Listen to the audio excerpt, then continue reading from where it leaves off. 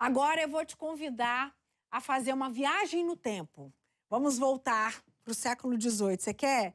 É uma viagem feita através de notas de dinheiro, de moedas, de selos, tudo muito antigo. Moedas antigas, selos raros e muita história para contar. Foi o que o Manuel de Oliveira viu durante um encontro de colecionadores aqui em Brasília. Foi nesse fim de semana. Se você ficou curioso, senta aí que a gente vê agora, tá? Vou te mostrar. Olha aí. Essas coleções mexem com a memória afetiva de muita gente e atraem colecionadores do Brasil inteiro.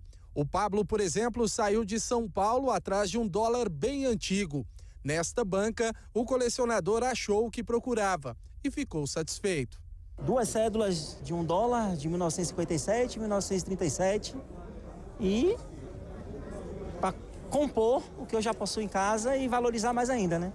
E a negociação segue. Segue. Andando pela feira, nós encontramos essa moeda de uma dobra lançada em 1729 na Casa de Minas. A relíquia custa aproximadamente 40 mil reais. No encontro, também nos deparamos com a foto do Rei Pelé nesta caixinha de fósforo lançada na Copa do Mundo de 1962. De um lado, o maior jogador da história do futebol mundial, e do outro, uma frase dizendo: fui selecionado para defender o prestígio do futebol brasileiro na Copa do Mundo. Uma das bancas que chama bastante atenção aqui na feira é exatamente essa daqui. Olha só, são vários cartões telefônicos de vários países e, é claro, todos que já foram usados aqui no Brasil.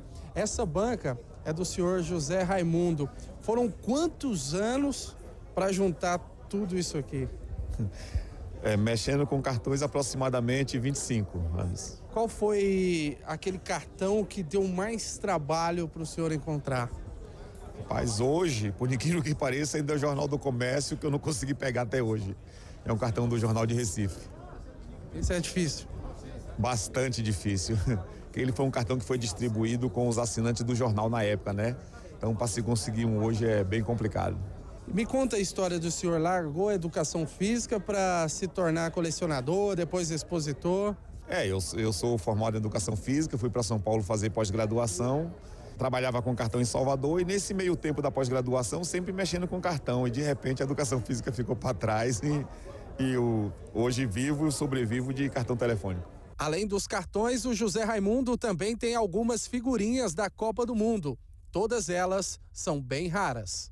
Essas aqui são as mais raras, né? Isso, são as figurinhas ouro, as golden, né? Ou ouro, né? Para nós que somos brasileiros, é ouro, são as figurinhas raras. A mais problemática é a do Neymar, mas eu não tenho. Mas eu tenho aqui o Cristiano Ronaldo, que está ali bem próximo. E essas são as complicadas hoje para se encontrar, né? Ouro, bronze, prata e as bordeaux. Então essas figurinhas nós temos aqui também. É, são vários craques aqui, né? Uhum o Luiz Soares do Uruguai, tem aqui também Varane. o Varane da França, uhum. o Sadio Mané, né? Isso. Enfim, são vários craques aí do futebol brasileiro. Cada figurinha dessa aqui custa quantos reais? Olha, as figurinhas variam dependendo do jogador e também da cor, a partir de 40 reais. Isso tem algumas aqui que até em torno de 400 reais. O que é mais caro é do Neymar, mas eu não tenho, ainda não tive o prazer de pegá-lo. Esse é o 13 terceiro encontro realizado em Brasília. E aqui na feira são mais de 40 expositores de várias partes do Brasil.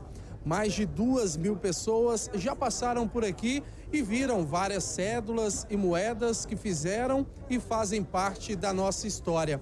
Aqui no evento, uma cédula especial foi lançada em homenagem ao bicentenário da independência, que é comemorado exatamente no mês de setembro.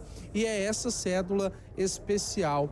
De um lado, ela se remete ao grito de Eu Fico, de Dom Pedro I.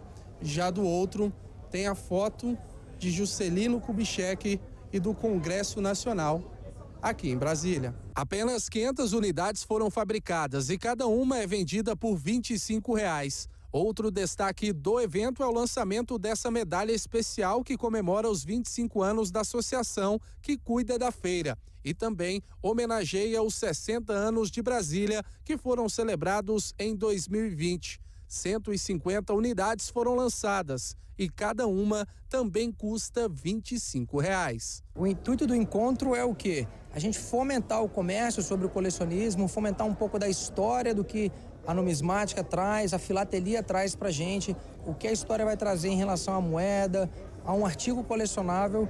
E a gente está aqui hoje na feira aí com mais de 40 expositores trazendo o que há de mais de novidades, de peças raras, escassas, de todo o Brasil e de todo o mundo. Isso aí é contar a história novamente, né? Quando a gente revê peças de colecionadores, a gente revive um pouco da história e vai juntando novas peças e fazendo parte dela. Muito bonito.